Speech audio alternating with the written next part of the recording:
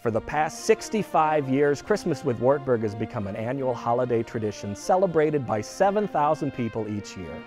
Hi, I'm Jay Bading, host of Behind the Curtain, here to bring you an inside look at what it takes to create this Christmas masterpiece. In this episode, we'll learn what inspired this year's theme and see the 60 foot mural that was created right here at Wartburg College.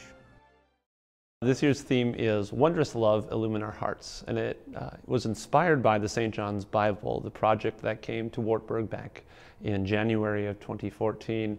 Uh, an amazing project that uh, brings the Word of God to humanity in a whole new and modern way.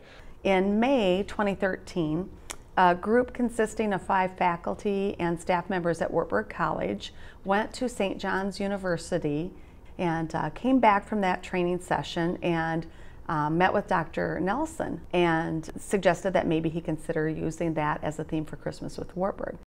I was struck by the beauty of the illuminations. The theme itself came from the idea of, first off, the simple wonder. As I would watch people go through the gallery and look at things, the wonder and awe in their faces as they would turn the pages of the St. John's Bible struck me. I knew I wanted words like wonder, I knew I wanted words like illumine or illumination.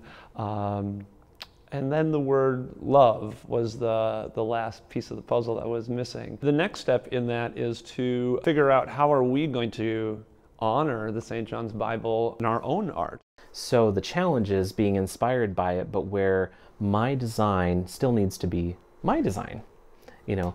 And so i had to find little pieces little little design elements that i really liked and then figure out how could i have my own twist on that. Chris in his brilliant uh, way was able to uh, be inspired and, and design using key elements that kind of tie the whole st john's bible together this year, uh, the, the look of it will be quite different than we've had in the past, especially as far as the overall color scheme.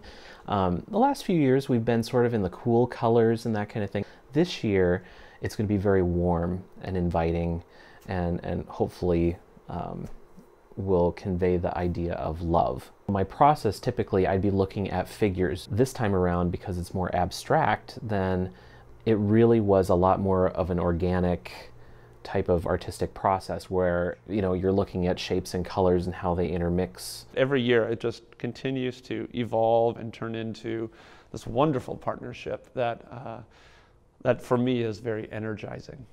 If for no other reason, uh, people should come to the concert to simply see that wonderful work of art. Join me next episode where we'll learn more about the music selection for Christmas with Wartburg. I'm Jay Bading. Thanks for watching Behind the Curtain.